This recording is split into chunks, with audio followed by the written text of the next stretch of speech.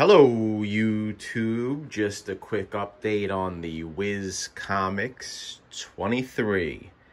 I'm starting to lay the color. This is just the base color, it doesn't look great. But the key to laying the color, I feel, is layers. That's why it's layering the color.